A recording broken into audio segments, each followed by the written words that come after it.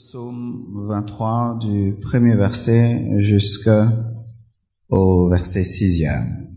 Psaume 23 du premier verset jusqu'au verset sixième. Vous y êtes? C'est un psaume très connu. Une, deux, trois, nous lisons. L'Éternel est mon berger je ne manquerai de rien. Il me fait reposer dans des verts pâturages. Il me dirige près des eaux paisibles. Il restaure mon âme. Il me conduit dans les sentiers de la justice à cause de son nom. Quand je marche dans la vallée de l'homme de la mort, je ne crains aucun mal, car tu es avec moi. Ta houlette et ton bâton me rassurent. Tu dresses devant moi une table en face de mes adversaires. Tu induis ma tête et ma coupe déborde. Oui, le bonheur et la grâce m'accompagneront tous les jours de ma vie et j'habiterai dans la maison de l'Éternel jusqu'à la fin de mes jours. Nous acclamons la parole du Seigneur. Amen. Asseyez-vous, s'il vous plaît. Mon message de ce matin dans ce grand thème, l'amour, une puissance négligée. Nous sommes en train de parler de l'amour que Dieu a pour nous, l'amour que nous devons avoir pour Dieu, l'amour que nous devons avoir pour nous-mêmes et l'amour que nous devons avoir pour le prochain. C'est autour de cela que nous sommes en train de tourner pendant ces 30 matins. Et mon sous-thème ce matin, c'est L'Éternel est mon berger, je ne manquerai de rien. Tu peux dire ça à ton voisin de droite? À celui de gauche? À celui de derrière? À celui de devant? À celui qui te boude? Acclamons le Seigneur. Amen. L'Éternel est mon berger, je ne manquerai de rien. Une parole d'un berger. Amen. Euh, ce n'est pas n'importe qui qui dit que l'Éternel est mon berger, je ne manquerai de rien, c'est la parole d'un berger. Et vous savez, lorsque quelqu'un dans son domaine s'exprime, il faut bien l'écouter parce qu'il sait de quoi il est en train de parler. Alléluia. C'est comme un juriste, s'il te parle du droit, tu dois écouter. Si un pasteur te parle de la Bible, tu dois l'écouter.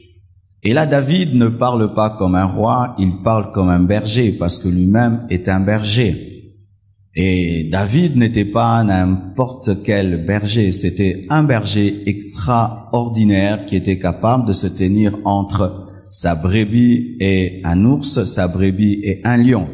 Il était capable de mettre sa vie en danger pour sauver pas un homme, mais sauver un animal. Vous imaginez cette capacité qu'il avait de pouvoir se sacrifier pour des animaux. Et David, lorsque maintenant il vient dire que l'Éternel est mon berger, il veut dire que ce que je fais ou ce que je faisais pour les brebis, l'Éternel le fait pour moi, mais il le fait plus que moi. Alléluia. Donc ce que je faisais pour les brebis, l'Éternel le fait pour moi et il le fait plus que moi. C'est pourquoi mon message aujourd'hui va partir du naturel. Nous allons voir dans la parole de Dieu, c'est qu'un berger, un berger naturellement fait pour une brebis, afin de comprendre ce que Dieu, le grand berger, fait pour nous qui sommes ces brebis. Dis à ton voisin, tu es la brebis du Seigneur. Alléluia. Parce que Dieu souvent part des choses simples pour expliquer les choses compliquées. Il part des choses difficiles pour expliquer plutôt les choses faciles, pour expliquer les choses difficiles, il part souvent du naturel pour expliquer le surnaturel. C'est pourquoi Jésus-Christ enseignait beaucoup par des paraboles parce que les mystères du royaume étaient trop élevés pour que l'intelligence de l'homme comprenne. Dieu partait des choses naturelles afin d'expliquer des choses surnaturelles. Alléluia. Et il y a beaucoup de choses que les brebis euh, subissaient en bien venant du berger. Et si je parle aujourd'hui de, de, de l'éternel, notre berger, c'est pour parler de son amour, parce que l'amour de Dieu pourvoit. Amen. Hein? L'amour de Dieu pourvoit. C'est pourquoi David dit, l'éternel est mon berger, je ne manquerai de rien, parce que le berger travaille à ce que les brebis ne manquent de rien. Amen. Hein? Mais le berger, lorsqu'il est un homme, il peut avoir des désirs de faire certaines choses pour ses brebis et être incapable parce qu'il est limité, parce qu'il est humain. Mais l'éternel, le tout-puissant qui est ton berger n'est pas limité dans ce qu'il veut accomplir dans ta vie, dans en Dieu, il n'y a pas de différence entre ce qu'il veut faire et ce qu'il peut faire. Je répète, il n'y a pas de différence entre ce qu'il veut faire et ce qu'il peut faire. L'homme veut souvent beaucoup de choses, mais est incapable de faire beaucoup de choses. Mais Dieu est capable de faire ce qu'il veut faire. Amen. Parce qu'il a la capacité d'accomplir ses promesses. Ce qu'il pense, il accomplit. C'est pourquoi dans la création, Dieu a pensé lumière, il a créé la lumière. Il a pensé poisson, il a créé le poisson. Il a pensé l'homme, il a créé l'homme. Ce que Dieu veut faire dans ta vie, il peut le faire. Il n'y a pas un problème entre ses désirs et ses possibilités. Je répète, il n'y a pas un problème entre ses désirs et ses possibilités. Si Dieu veut t'enlever, il va t'enlever. S'il veut que tu vives éternellement au ciel, il peut le faire. Il n'est pas en train de souhaiter des choses dans ta vie, il est en train de programmer des choses qu'il peut accomplir. Nous ne sommes pas le produit des souhaits, nous sommes le produit d'un homme puissant, d'un Dieu puissant, capable de promettre et de réaliser. L'éternel est ton berger et tu ne manqueras de rien. En d'autres termes, comme l'éternel est mon berger, donc je ne manquerai de rien. Alléluia. Comme je suis la brebis de l'éternel, donc je ne manquerai de rien. Et ce n'est pas n'importe qui l'éternel, c'est celui qui n'a ni commencement ni fin, mais qui est le commencement de toutes choses et la fin de toutes choses. Ce n'est pas n'importe qui qui est ton berger, c'est le Tout-Puissant. Ce n'est pas n'importe qui qui est ton berger, c'est l'Omniscient. Ce n'est pas n'importe qui qui est ton berger, c'est celui qui a créé les cieux et la terre. Ce n'est pas n'importe qui qui est ton berger, c'est celui qu'on appelle le chemin, la vérité et la vie. Ce n'est pas n'importe qui qui est ton berger, c'est l'alpha et l'oméga. Ce n'est pas n'importe qui qui est ton berger, c'est celui qui dit un mot et la chose arrive. Ce n'est pas n'importe qui qui est ton berger, c'est le roi des rois, le seigneur des seigneurs. Ce n'est pas n'importe qui qui est ton berger, c'est Jésus-Christ de Nazareth, celui qui a reçu le nom qui est élevé au-dessus de tout autre nom, afin qu'en son nom tout genou fléchisse et que toute langue confesse qu'il est Seigneur à la gloire de Dieu le Père. Ce n'est pas n'importe qui qui est ton berger, c'est la résurrection et la vie. Ce n'est pas n'importe qui qui est ton berger, c'est la manne cachée. Ce n'est pas n'importe qui qui est ton berger, c'est le soleil de la justice. Ce n'est pas n'importe qui qui est ton berger, c'est la parole faite chair. Ce n'est pas n'importe qui qui est ton berger, c'est le rocher des âges, l'ancien des jours. Ce n'est pas n'importe qui qui est ton berger, c'est le pourvoyeur. L'éternel est mon berger et je ne manquerai de rien. Pourquoi? Parce qu'il a tout. Alléluia. Alléluia. Oh, est-ce qu'un homme est en train de comprendre quelque chose? Ton père n'est pas ton berger. Ta mère n'est pas ta bergère. Ton pasteur, c'est un petit berger. Mais il y a le grand berger. Le grand berger. Jésus-Christ de Nazareth. L'éternel est mon berger. Je ne manquerai de rien. Je ne manquerai pas d'argent. Je ne manquerai pas de santé. Je ne manquerai pas une maison. Je ne manquerai pas une parcelle. Je ne manquerai pas. Je ne manquerai de rien. Dans rien tu mets rien. non, dans rien tu mets tout. Dans rien tu mets tout. Tout dépend de ta foi. L'éternel est mon berger. Je ne manquerai de rien. Dans rien tu mets tout ce que tu crois. Je dis dans rien tu mets tout ce que tu crois. Je ne manquerai de rien. Alléluia. Parole de la Bible. Si Dieu est mon berger, je ne manquerai de rien. Hallelujah. I feel something today. Hallelujah. Hmm. Et la Et l'histoire et l'étude du berger nous révèle ceci, que le berger chaque matin fait l'inspection de ses brebis. Il fait l'inspection de ses brebis. Et si il en a 100, il fera l'inspection de toutes les brebis. Il ne s'arrête jamais à une brebis. Il continue à la deuxième brebis jusqu'à ce qu'il arrive à la dernière brebis. Bien aimé, si Dieu est en train d'inspecter ton frère, enfin d'enlever les mauvaises choses, sois calme, il finira par t'inspecter parce que l'éternel est ton berger, il t'inspectera. Seigneur, inspecte mes problèmes. Seigneur, inspecte ma famille. Seigneur, inspecte mes difficultés. Seigneur, inspecte, enlève les puces, enlève les puces, enlève tout ce qui est feuille, enlève tout ce qui est mal. Bien aimé, lorsque Dieu inspecte l'autre, ne sois pas jaloux. Il finira par t'inspecter parce que le berger est capable de laisser 99 brebis quelque part afin de chercher la seule qui manque. Hmm. Lorsque une brebis est en train de manger, il ne faut pas que toi tu sois fâché parce qu'il y a un plan aussi pour toi. C'est un berger. Ce n'est pas un mercenaire. Le berger inspecte toutes les brebis. Oh, les bergers inspectent toutes les brebis. Quiconque en ce lieu est une brebis du Seigneur, sache que Dieu va t'inspecter. Il va t'inspecter. Et la Bible nous dit que lorsque Dieu frappe à la porte, il vient souper avec nous. Et lorsqu'il soupe avec toi, même tes problèmes soupent avec lui. Tes difficultés soupent avec lui. Et lorsqu'il t'inspecte, il enlève tout ce qui est mal. Et si tu es perdu, il laissera tout le monde enfin de te toucher. C'est pourquoi, frères et sœurs, si en ce lieu tu es un païen, le fait que tu sois venu ici, c'est que tu es une brebis du Seigneur, que Dieu est en train de chercher. C'est pourquoi Dieu appelle encore aujourd'hui. Il envoie des encore aujourd'hui. Pourquoi c'est un inspecteur? Paul était sa brebis, mais sa brebis qui n'était pas là. Lui-même, le berger, est allé chercher sa brebis sur le chemin de Damas. Paul a été évangélisé par le berger lui-même. Et aujourd'hui, il entre dans un homme qui est comme toi, afin de te chercher. Toi qui es loin de la bergerie, afin que tu puisses entrer. Et tant que tu n'es pas entré, il te cherchera, et il te cherchera, et il te cherchera, et il te cherchera. C'est pourquoi jamais je ne me fatiguerai de faire accepter les gens Jésus. Vous pouvez être à 10 000 membres, je ferai toujours accepter les gens Jésus. Pourquoi? Je suis en train de servir l'éternel, le berger qui cherche à inspecter toutes les brebis. Hmm. Lorsque une brebis est en train d'être inspectée, les autres se réjouissent parce que l'inspection a commencé.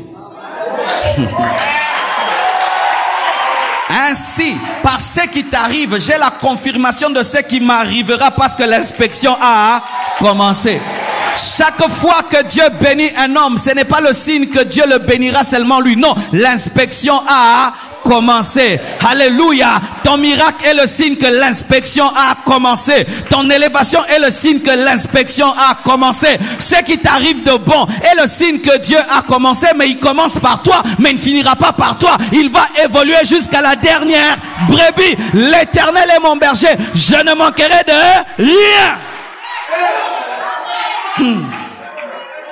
Il n'y a pas de brebis privilégiées, mais il n'y a que des brebis premières. Hmm. Comme Dieu doit toujours commencer quelque part, c'est pourquoi il commence par une personne. Mais ce n'est pas parce qu'il commence par toi que tu es privilégié. Non, tu es le signe de ce qu'il fera dans la vie des autres. Alléluia. Ce qui t'arrive en avant n'est pas à toi, mais c'est le signe prophétique de ce qui arrivera aux autres. C'est pourquoi, bien aimé, tout ce qui arrive dans la vie de quelqu'un qui avait le même problème que toi, et la prophétie que ton problème aussi sera résolu, car l'inspection a commencé. Hmm. C'est pourquoi dans la Bible, on nous présente des hommes qui ont expérimenté des problèmes, mais aussi des solutions, afin que les autres brebis croient que le berger est capable de résoudre aussi ces problèmes-ci. Hmm. Lorsque j'ai un problème de ministère, je regarde Moïse. Lorsque j'ai un problème des enfants, je regarde Anne. Lorsque j'ai un problème de défi, je regarde David. Ils ont été inspectés pour que je croie que je serai aussi inspecté. Dis à ton voisin que Dieu t'inspecte ce matin que Dieu t'inspecte, qu'il enlève les puces, qu'il enlève les puces de ta vie. Je dis que Dieu enlève les puces de ta vie, que le berger enlève les puces de ta vie, qu'il enlève les puces de ma vie. Hmm. Et qu'est-ce qui arrive lorsque l'inspection a commencé dans une brebis et que l'autre n'est pas encore inspectée, elle se prépare. Chaque fois que tu vois la main de Dieu commencer dans la vie des autres, bien aimé, prépare-toi. Ainsi, une peut faire comme ça. Pourquoi? Il va aussi me toucher là comme il a touché dans la vie de l'autre. Prépare-toi car ton tour arrive. Je dis prépare-toi car ton tour arrive. C'est pourquoi même lorsque Jésus a multiplié les pains, tout le monde n'était pas servi au même moment, mais tout le monde devait s'asseoir. Assis-toi même si tu ne manges pas. Assis-toi même si tu ne manges pas. Assis-toi même si tu ne manges pas. Je dis, assis-toi même si tu ne manges pas encore. Car pour manger, tu dois t'asseoir dans les verts pâturage. Mange la parole, mange les écritures, mange la sainteté, mange la pureté. Assis-toi dans les verts pâturage. Hmm. Alléluia. Et David dit, sa houlette et son bâton me rassurent. La houlette n'est pas le bâton. Le bâton n'est pas la houlette, mais les deux sont des armes. le bâton en lingala serait appelé le kibota. La houlette, ce serait la direction. Mais les deux rassurent la brebis. Mais les deux ne frappent pas la brebis. Le bâton est pour le loup, la houlette est pour la brebis. Car Dieu ne peut utiliser contre toi ce qu'il utilise contre ton ennemi. Mhm. Ta houlette et ton bâton me rassurent. Le kibota de Dieu, c'est lorsque Dieu juge tes ennemis, lorsqu'il frappe les loups. Et la Bible nous dit qu'il a dépouillé les autorités et les dominations à la croix. La croix, c'est un bois. Alléluia. Mais la croix est un bâton pour le diable, une houlette pour moi. Je dis, la croix est un bâton pour le diable parce que ça le dépouille, mais c'est une houlette pour moi parce que moi, ça me sauve. Le bâton frappait le loup, mais la houlette dirigeait la brebis. Alléluia. La croix dépouille Satan, mais la croix te sauve. Ainsi Dieu frappe les démons. Il frappe les puissants des ténèbres. Je dis, il frappe les démons. Il frappe les puissants des ténèbres pour toi. Hmm. J'aimerais te dire une chose que tu sais déjà, mais il faudrait que je te rappelle. Jésus n'est pas venu sur la terre pour vaincre le diable, il avait déjà vaincu, il n'avait pas besoin de cela. Et le berger ne tient pas le bâton parce qu'il veut vaincre le loup, mais il tient le bâton parce que la brebis n'a pas des dents. Et Jésus savait que toi, tu ne peux pas vaincre Satan. C'est pourquoi pour toi encore, il est venu le dépouiller. Mais lui, il avait déjà vaincu car la Bible dit qu'il avait déjà été précipité. Il avait été déjà chassé. La victoire de la croix, Jésus n'en avait pas besoin. C'était pour toi. C'est ça ton bâton. C'est ça ton bâton. C'est ça ton bâton. Lorsque le diable veut t'écraser, dis-lui, tu étais dépouillé à la croix. Le bâton. Lorsque les sorciers veulent te toucher, dis-le. Le sang de Jésus-Christ a été, a été versé pour moi. Le bâton. Présentez l'œuvre de la croix. Hmm. La croix est mon assurance. Pas mes œuvres, mais la croix. Ne présente pas tes œuvres. Tes œuvres sont des habits suyés devant le diable. Mais présente l'amour de Dieu pour toi. Présente le bâton. Je dis présente le bâton. Présente le bâton. Hmm. Et quiconque cherchera à te toucher rencontrera le bâton. N'ayez pas peur, bien-aimé. Le kibota de notre Dieu reste intact. Il est comme le serpent de Moïse, le bâton de Moïse, même s'il avale, il ne grossit pas. Car normalement, si tu avales d'autres bâtons, tu dois grossir. Mais le bâton de Moïse est resté le même après avoir avalé les autres bâtons. Et j'aimerais te dire que Dieu reste le même malgré tous les miracles qu'il fait. Il n'est pas fatigué, il n'a pas maigri, n'a pas grossi, il reste le même. Et il te protégera encore. Lorsque le loup attaque la brebis, il pense que l'arme de la brebis, c'est ses poils, c'est ses dents, et puis il dit, il n'est pas fort. Mais la force de la brebis, c'est le bâton du berger. Le bâton du berger. Bien aimé, tu n'es pas seul. Je dis, tu n'es pas seul dans tes combats. Tu n'es pas seul dans tes luttes. Il y a quelqu'un qui a un bâton. Le bâton du jugement. Le bâton de la puissance. Celui qui te touche, le touche. Celui qui te touche, le touche. Je dis, celui qui te touche, le touche. Celui qui te touche, la touche. Celui qui te touche, la touche. Ose me toucher, tu verras le bâton du berger. Hmm. Mais j'aime l'équilibre en David. David ne dit pas seulement ta ne dit pas seulement ton bâton me rassure, protection me rassure, pas seulement ça, mais il dit aussi ta houlette. La houlette servait à ramener, à ramener les brebis égarées sur le chemin. Lorsque une brebis va très loin, la houlette frappait la brebis, elle revenait sur le chemin. Quand elle va à gauche, frappe, il revient sur le chemin. Je n'aime pas Dieu seulement lorsqu'il me protège, je l'aime aussi quand il me corrige. Je n'aime pas Dieu seulement quand il me protège, j'aime aussi quand il me corrige. Hier, on m'a corrigé que je viens en retard à l'église. Je suis venu à 4h30 du matin. J'aime aussi quand on me corrige. N'aime pas Dieu seulement quand il fait des miracles. J'aime aussi lorsqu'il me brise. Je n'aime pas Dieu seulement lorsqu'il m'élève. J'aime aussi lorsqu'il dit Marcelo plus cela. J'aime la houlette et j'aime le bâton. J'aime le bâton, j'aime la houlette. L'équilibre, c'est entre le bâton et la houlette. Hmm. L'amour de Dieu pour toi te protégera, mais l'amour de Dieu pour toi aussi te corrigera, te brisera, te ramènera. Et l'équilibre, la maturité, c'est avoir l'assurance dans les deux. Tu ne viens pas à Dieu seulement pour qu'il te protège, tu viens aussi pour qu'il te dirige. Car s'il n'utilise pas la houlette contre toi, tu vas t'égarer et tu vas quitter le vert pâturage et tu iras dans des mauvais pâturages. Tu vas aller dans des eaux qui ne sont pas paisibles et le crocodile te mordra. Un Dieu qui t'aime sans te corriger ne t'aime pas. Un Dieu qui t'aime et qui te laisse dans le péché ne t'aime pas. Un Dieu qui t'aime, qui ne te culpabilise pas quand tu pêches ne t'aime pas. Un Dieu qui t'aime te fait manquer la paix quand tu pêches. Il te fait manquer la joie quand tu pêches. C'est sa houlette. C'est sa houlette. Il te parle durement. Il te corrige. Il te reprend pour que tu sois parfait. C'est la houlette. Le berger n'a pas que le bâton. Parce qu'il sait qu'il n'y a pas que le loup qui est le problème. Il y a aussi la rébellion de la brebis qui est un problème. Le problème du berger, ce n'est pas seulement le diable, mais aussi notre chair. Ton ennemi, ce n'est pas seulement Satan, c'est aussi ta chair, ta rébellion, ton orgueil, et tu as besoin de la houlette. Mais dans la croix, il y a à la fois la houlette et le bâton. La croix dépouille les autorités, mais aussi crucifie la chair. La croix te guérit des maladies, mais ça brise aussi ton moi.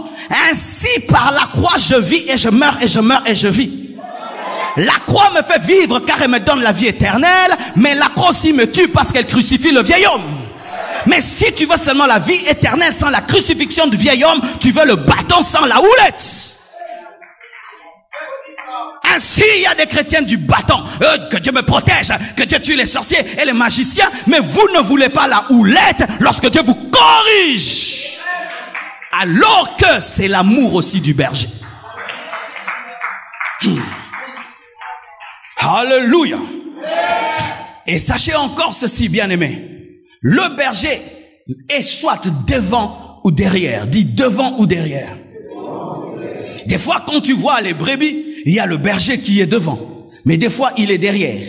Sa position est toujours stratégique parce qu'il fait rien pour rien. Dieu ne fait rien pour rien dans ta vie. C'est pourquoi toute chose concourt au bien de ceux qui aiment Dieu. Car si tu ne le vois pas devant, vérifie, il est derrière. Et si tu ne le vois pas derrière, il est devant. Ce n'est pas parce que tu ne le vois pas devant qu'il n'est pas. Il est derrière. Et si tu ne le vois pas derrière, il est devant. Quand tu ne le vois pas devant, c'est parce qu'il est derrière, parce qu'il y a une brebis qui est fatiguée. Et si tu le vois devant, ce n'est pas qu'il est contre ceux qui sont fatigués, mais parce qu'il doit maintenant écraser les problèmes qui vont t'arriver avant qu'ils ne t'arrivent. Le berger est devant la brebis parce que devant la brebis, il y a des trous que la brebis ne voit pas. Il doit rembler le terrain. Il doit précéder la brebis parce qu'il y a des épines qu'il doit enlever avant que la brebis ne vienne. Il y a le loup sur le chemin qui doit taper avant que tu n'arrives. Et j'aimerais te dire que dans ta vie, Dieu a déjà vécu ta vie avant que tu la vives, afin que tu puisses vaincre dans ta vie. Ta vie pour toi, tu es en train de vivre en direct, mais pour Dieu, c'est une rediffusion. Je suis en train de répéter, ta vie pour toi, c'est le direct, mais pour Dieu, c'est une rediffusion. Et lorsque toi, tu as peur, eh, acteur, lui, il est calme parce qu'il sait que souka. Bien aimé, quand tu as peur, Dieu est calme. Je dis quand tu as peur, Dieu est calme. Dieu est calme. Pourquoi? Il a déjà vécu ta vie jusqu'au bout et puis il a commencé.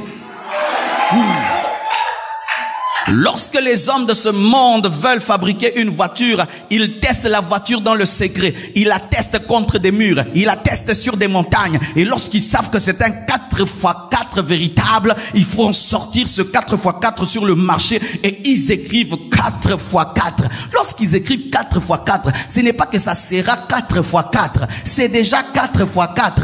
Et tu penses que parce qu'elle est neuve, on l'a pas testée? Non, elle est neuve, mais elle est déjà testée. Et ce n'est pas parce que tu existes que Dieu ne sait pas ce qui t'arrivera. Il t'a déjà testé. Et quand il a compris que ça réussira, c'est alors qu'il t'a manifesté. Si Dieu savait que ça ne réussira pas, il n'allait pas te manifester. Ta présence sur la terre est le signe que tu réussiras. Ta, oh, ta présence sur la terre est le signe que tu réussiras.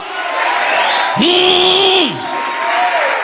Une fois, la Mercedes a fait une voiture, je ne sais pas, Mercedes classe A ou quelque chose, mais qui avait des tonneaux. Il y avait tellement de tonneaux qui sont venus, ils ont dit, rendez-nous cette voiture et nous fait la honte.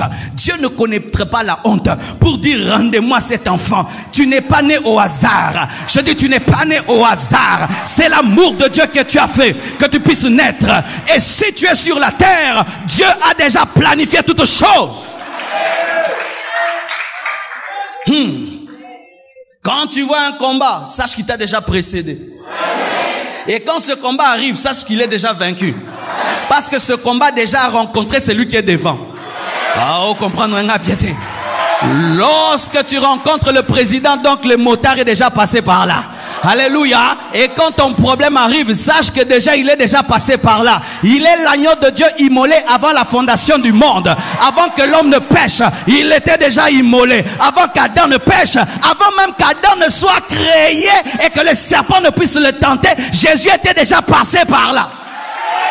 Oh, Shanda. C'est pourquoi dans ta vie, le diable viendra toujours en retard. Je dis, il viendra toujours en retard. Je dis, il viendra toujours en retard. Et il viendra toujours devant toi dépouillé parce qu'il aura déjà rencontré le dépouilleur. Chaque fois que le diable te rencontre, il est dépouillé. Pourquoi? Il a déjà rencontré le berger qu'il a dépouillé par le bâton. Hmm. Il n'est pas seulement devant, il est aussi derrière. Dis à ton voisin, il fait quoi derrière? Il pousse les brebis faibles. Il dit, monte. Même si la montagne est très escarpée, tu peux tenir, monte. Est-ce qu'il y a des hommes qui sentent des fois Dieu lui dit, monte ici. Continue, n'abandonne pas. Mille fois tu tombes, mille fois il te relève, sept fois tu tombes, sept fois il te relève. Quand tu es fatigué, il te dit, vaillant héros, vaillant héros, vaillant héros, va avec la force que tu as. Hmm. J'aimerais te dire qu'il n'y a pas un meilleur coach que Dieu. Il est plus que Mourinho. Ah, il est plus que Zidane. Oh, j'aimerais te dire qu'il est plus que Mourinho. Il est plus que Zidane. Parce que ces coachs-là, des fois, si tu marques pas, bailler yo. Mais oh, bailleront jamais. Encore déclassé, yo, Robert, à deux fois. Mais ils dans le terrain. Okolonga, okokoka. J'aimerais dire à toutes les personnes qui sont découragées ici, l'éternel ton berger te dit, lève-toi, redresse-toi, tiens-toi debout, continue. Ne dis pas je suis faible, sa force est là. Même si tu ne vois pas sa main, le Saint-Esprit te fortifie. Même dans tes faiblesses, il te donne la capacité de prier, il te donne la capacité de te sanctifier, il te donne la capacité de jeûner, il te donne la capacité de chercher. Il est le berger. Hmm.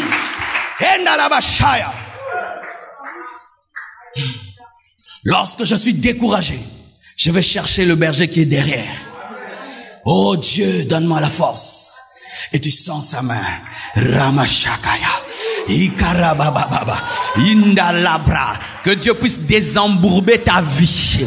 Que Dieu puisse te désembourber du découragement. Que tu puisses croire que tu peux avancer. Cette montagne que tu es en train de gravir, il a déjà gravi pour toi. Et il ne peut pas te demander de faire une chose sans te donner la force. Sors du découragement. Sois fort. Il est là avec toi. Il pousse la brebis. Et encore, lorsque toutes les brebis dorment, lui ne dort pas. Celui qui veille sur toi ne sommeille ni ne dort. Jeannot, ma sentinelle dort. Des fois, j'attrape ma sentinelle en train de dormir. Et moi, je dois la réveiller. Mais j'ai une sentinelle qui coûte tellement cher que je ne peux la payer. C'est pourquoi c'est gratuit. Son service coûte trop cher que je ne peux pas payer, mais c'est, pourquoi il me donne gratuitement. Il y a des entreprises de sécurité. Si seulement tu cherches un contrat, ça sera 300, 500. Seulement parce qu'on a mis deux militaires à ta porte et parce qu'on a mis une petite sonnerie. Mais lui est là le matin, à midi, le soir, la nuit, quand tu ronfles. Hmm, moi, Dieu ne me protège pas parce que je prie. Dieu me protège parce que je suis sa brebis. Les, brebis ne prient pas pour que le berger les protège, mais parce qu'il les aime et parce qu'il est responsable, il veille sur elles. Alléluia. Moi que je prie, que je prie pas la nuit, Dieu me protégera parce que j'ai une alliance. Si tu es protégé parce que tu pries, donc c'est la prière qui est morte pour toi la croix. Euh, je vais te dire, tu nourris tes enfants parce qu'ils demandent ou bien parce que tu es papa. Mais s'ils demandent des précisions, tu ajoutes.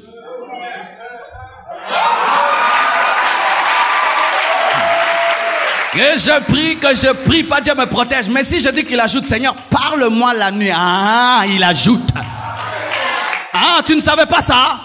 C'est pourquoi le diable vous touche dans votre sommeil parce que vous, vous avez cru en la prière comme Seigneur et Sauveur.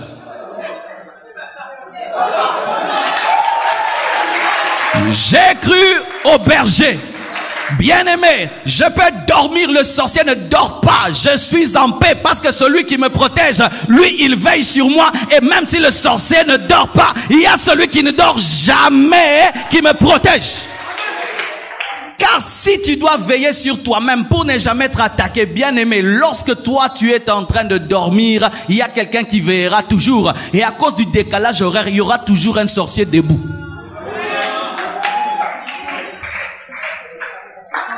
cause du décalage horaire, il y aura toujours un sorcier qui est réveillé. Alors je n'ai pas maîtrisé les sorciers. Je n'ai seulement qu'à me confier au berger qui lui ne dort jamais. C'est pourquoi le sommeil d'une brebis est dangereux parce qu'il attire les loups qui seront frappés par le berger qui dort pas. C'est pourquoi beaucoup de chrétiens ont des problèmes le matin à cause des frappes qu'ils ont eu la nuit pendant qu'ils dormaient.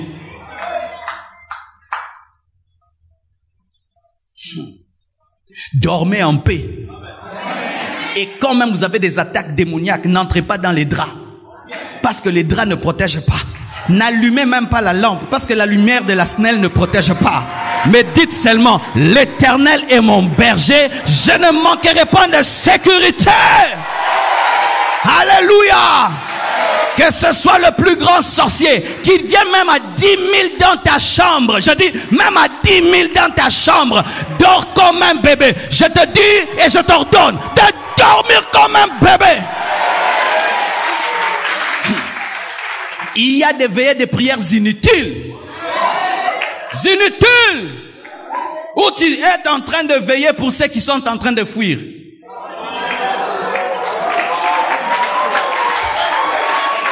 10 000 personnes t'attaquent. Tu prends seulement un obus, tu tires, tout se fuit. Mais toi, tu continues à veiller. Est-ce que tu es normal? Mais le nom de Jésus est élevé au-dessus de l'obus, d'une bombe.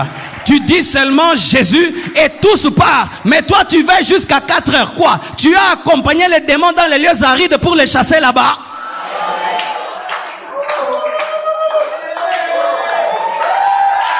Hmm. Voici l'image que tu dois avoir quand tu dors. Quand tu dors, il est ton lit, il est ton drap, il est la chambre, il est la porte, il est la clôture, il est la maison, il est la bajour. Ah. Pourquoi? C'est une sentinelle qui est omniprésente. Il est devant la porte du garage, il est devant la porte de la grille, il est dans le salon, il est dans le couloir, il est partout. Maintenant, quel est ce sorcier qui peut entrer dans une maison remplie par celui qui me protège? Un jour, un homme de Dieu, quelqu'un est venu le voir et il a dit, homme de Dieu, je sens la présence démoniaque. Il lui a dit, quitte ici, c'est toi qui as amené le diable ici, parce qu'avant toi, le diable n'était pas là. Du niveau! Hmm. Oh, chassons le diable. Quel diable? Avant toi, il n'y avait pas le diable ici. C'est toi qui l'as amené. Alors toi et le diable que tu as amené, quittez ici. Oh, je sens dans cette maison des présences démoniaques. Non Je sens dans ma maison la présence des anges. Je sens dans ma maison la présence du Saint-Esprit. Je sens dans ma chambre la présence de la gloire de Dieu. Le diable ne peut subsister dans ma chambre.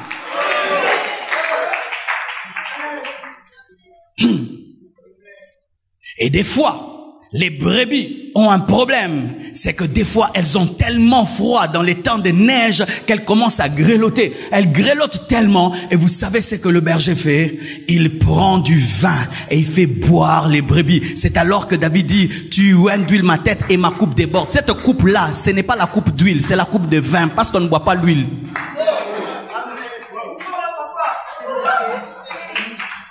Et les, Juifs faisaient boire du vin. Et le vin réchauffait la brebis. Et la brebis reprenait vie. Et toi aussi, lorsque la vie veut te refroidir et te tuer, il te donne le vin, le vin de sa vie, la vie Zoé, la vie de Dieu. Il te la communique par la parole et par le Saint-Esprit. Et tu reprends vie. Le froid de ce monde ne te tuera pas à cause de la vie de Dieu qui est en toi. C'est pourquoi celui qui est en toi est plus fort que celui qui est dans le monde. Et ce qui est au dehors ne tuera pas ce qui est dedans. Car ce qui est dedans est plus fort que ce qui est au dehors. Le vin est plus que le froid. Et il ne donne pas n'importe quelle coupe, une coupe qui déborde. C'est pourquoi la Bible dit qu'il est venu afin que les brebis aient la vie et l'aient en abondance, parce que c'est une coupe débordante. N'ayez pas peur lorsqu'un homme réellement a reçu Jésus et qu'il a le vrai vin, le froid du monde ne le tuera pas. Lorsque Paul s'est converti et qu'après il a commencé le ministère, qui était en train de faire tout le temps le suivi?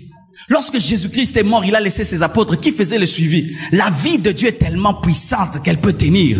Voyez, des fois, il y a des plantes sauvages que nous n'arrosons pas, que nous plantons pas, mais qui tiennent malgré les temps circonstances. Et nous aussi, nous sommes comme des cactus du désert. Même s'il n'y a pas de pluie, il y a la vie en moi. Même si je suis pas arrosé de l'extérieur, la vie est en moi. C'est pourquoi le Saint-Esprit en toi est une source dynamus au-dedans de toi qui n'a pas besoin de source de connexion pour te donner mariage. Oza téléphone babranchaka libanda te mais c'est rechargeaka yango moko c'est ça le chrétien. Le chrétien, ce n'est pas un téléphone qu'on branche quelque part. Non, il a une source au-dedans. C'est un téléphone qui se recharge tout seul.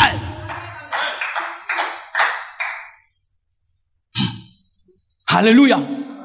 Et la Bible nous dit, plutôt l'histoire encore nous révèle que les brebis, des fois, étaient tourmentées par les mouches. Les mouches venaient souvent sur les brebis et vous les voyez des fois. Les mouches aiment euh, l'humidité qu'il y a dans les nez des animaux. Ils aiment bien se tenir là. Et des fois, ils aiment beaucoup les oreilles. Et s'il y a des plaies, les mouches aiment bien là. Et nous connaissons des chiens à Kinshasa qui ont des plaies au niveau des oreilles et puis qui deviennent plus grandes. Plus il y a des mouches, plus il y a des plaies. Pourquoi? Plus il y a des mouches, l'animal est en train de gratter ses, ses, ses, ses, oreilles et les plaies deviennent plus grandes. Mais qu'est-ce qui arrivait aux brebis? Les brebis, quand ils étaient entourés des mouches, tapent souvent leur tête contre des pierres, contre des, des, des arbres et se grattent, se blessent et d'autres même meurent. Mais que fait maintenant le berger? Lorsqu'il voit les mouches qui sont en train de déranger les brebis Il prend de l'huile, il verse sur leur tête. Et David dit, tu oins d'huile ma L'huile qu'on met sur la tête du brebis représente l'onction du Saint-Esprit qui détruit les véritables mouches qui sont les démons. Car le diable est appelé Belzéboul, le prince des mouches. Les mouches qui t'environnent seront anéanties par l'onction du Saint-Esprit. Lorsque tu vois les mouches, cherche seulement l'huile. Et si tu as l'huile, l'huile va anéantir les mouches. C'est pourquoi la Bible nous dit que l'onction brise les jougs. Le berger que tu as te oint face à tes ennemis. Lorsque tes ennemis viennent, lui, il met de l'huile. Lorsqu'il voit les mouches, lui te donne l'onction. Lorsqu'il a vu le diable qui allait combattre l'église, il les a seulement donné le Saint-Esprit dans la chambre haute. L'huile de l'esprit dans ta vie n'est pas là seulement pour embellir ta tête, mais pour chasser les mouches. L'onction de l'esprit que tu as, ce n'est pas seulement pour parler en d'autres langues, c'est pour chasser les mouches. L'onction que tu as sur toi fait de toi un beignet chaud que les mouches ne peuvent approcher. Tu vois l'onction que tu as là? L'onction, c'est l'huile qui chasse les mouches. Et aucune mouche ne peut résister devant l'onction de Dieu. Le Dieu qui te voit te protège par l'onction qui te donne. C'est pourquoi le jour que l'onction a quitté Saoul, il était remplacé par une mouche. Parce qu'un esprit mauvais est venu. Quand lui s'en va, les mouches viennent. Veille sur ton onction. Veille sur ton onction. Garde l'onction que tu as. L'onction que tu as, ce n'est pas seulement pour servir Dieu. Ça te protège toi-même des mouches. Car les mouches attendent que l'huile cesse de fonctionner pour venir. Alléluia. Alléluia. Hmm. Mais écoutez ce que David dit. Et j'habiterai. Au début du passage, il parle des bénéfices du berger dans sa vie, c'est que le berger fait pour lui. Mais il dit, et j'habiterai tous les jours dans son temple, j'habiterai. Là, il dit je. Il ne dit plus l'éternel. Il dit je. Pourquoi? L'amour doit répondre à l'amour. Hmm. Lorsque tu entres dans la maison du berger, il boit quoi? Le lait. Qui lui donne le lait? La brebis. Lorsque tu entres dans la maison du berger, tu trouves quoi? La viande. Qui lui donne la viande? La brebis. Lorsque tu vois les habits et la garde-robe du berger, tu vois quoi? Les peaux des brebis. Qui lui donne ça Les brebis? Mais si tu donnes le lait et tu donnes la chair et tu donnes la peau, tu ne peux pas être vivant. Chaque viande vue dans la garde, dans le frigo du berger, c'est une brebis qui est morte pour celui qui la protège. Chaque lait que tu vois dans le frigo du berger, c'est une brebis qui a accepté de perdre son énergie, son meilleur, parce que le lait, c'est le meilleur de l'animal. Chaque fois que tu vois le berger bien habillé en peau de mouton, sache qu'il y a une brebis qui a accepté de perdre sa peau, son pelage pour réchauffer celui qui la réchauffe. Le berger conduit la brebis dans les eaux paisibles, mais la brebis aussi lui donne le l'eau. Le berger fait boire la brebis, la brebis aussi donne l'eau aussi. L'eau donne aussi le lait. Le berger protège la brebis, la brebis aussi protège le berger en lui donnant la couverture. Le berger nourrit par le vert pâturage, mais la brebis aussi nourrit par sa viande. L'amour doit aller et l'amour doit revenir. Dieu t'aime, il te protège, il te garde, c'est bien. Mais toi, que fais-tu en retour? Le lait symbolise l'adoration, la viande symbolise la consécration, les vêtements symbolisent l'humilité dans le service. Pourquoi je dis que le lait symbolise l'adoration? Parce que lorsque Dieu promet à Israël les meilleures choses, il dit vous aurez le lait et le miel. Et lorsque Abraham veut donner Isaac qui était son meilleur, il dit quoi? Moi et le fils, nous irons adorer. Dieu attend ton lait. Toi qui l'aimes, que tu l'adores, que tu lui donnes ton lait, que tu lui donnes le meilleur de ta personne. Adorer, ce n'est pas seulement chanter. Adorer, c'est donner le meilleur de soi-même. En parole, en action, en offrande, en tout ce que tu as, tu donnes le meilleur, c'est l'adoration. Hmm. Des fois, nous aimons le bâton du berger, nous aimons la protection du berger, mais lorsqu'il veut boire notre lait, nous ne voulons pas. Nous ne voulons pas l'adorer, nous ne voulons pas l'aimer de tout notre cœur et nous ne lui donnons pas le meilleur de nous-mêmes, alors que lui nous donne le meilleur de lui-même. Hmm. Et la viande symbolise le sacrifice, car lorsque on offrait à Dieu, on donnait des viandes. Et la viande symbolise aussi la crucifixion, la crucifixion de la chair. Tu dois accepter d'être crucifié pour celui qui s'est crucifié pour toi. Le crucifié recherche des disciples qui renoncent à eux, même ils veulent la chair. La chair. Oui, cette partie, vous n'allez pas vous détenir debout ni aimer. C'est la Bible. Face A et face B. Vous ne venez pas écouter une partie de la Bible. Non, non. Où on vous parle que des bénéfices de la croix. La croix aussi engendre des responsabilités. Tu dois te consacrer à Dieu. Tu dois mourir à toi-même. Tu dois vivre dans la sanctification, donner ta chair, donner ta viande. Lorsque tu sais qu'il est ton berger, tu lui donnes ta viande. Tu cesses de vivre selon le monde.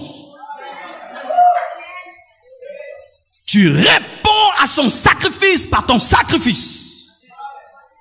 Il s'est mis en danger pour toi et toi pour lui dire merci, tu lui donnes la viande.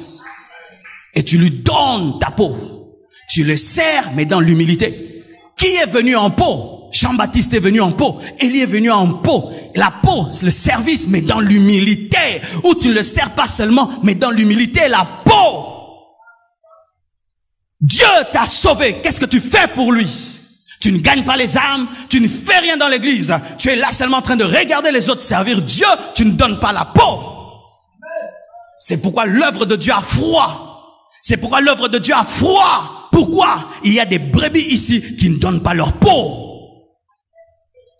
Pour donner la peau, il faut pas se mettre prédicateur.